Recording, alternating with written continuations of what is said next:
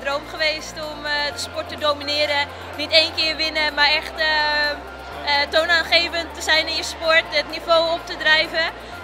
en ja, om nu gewoon regerend Olympisch wereldkampioen en Europees kampioen zijn, is echt fantastisch. En ik hoop dat ik het de komende vier jaar kan volhouden. Je hebt harde wind, je hebt zachte wind, golven, geen golven. En ja, de concurrentie komt elke keer uit heel andere hoek. Gewoon dominant te zijn in elke omstandigheid. Dat is gewoon lastig, maar ik denk dat ik uh, daar steeds dichterbij in de buurt kom. Als je de sport wil domineren, moet je resultaat halen. Want over praten is makkelijk, maar uiteindelijk zijn het de resultaten die tellen. En als je dan daadwerkelijk Olympisch kampioen, wereldkampioen en Europees kampioen bent, ja, dan hebben we in ieder geval een hele goede eerste stap gezet. Um, en ja, ik moet Mari denk ik citeren in het antwoord op deze vraag. Uh, twee keer goud is beter dan één keer goud. Dus uh, what's next? Uh, nog een keer goud.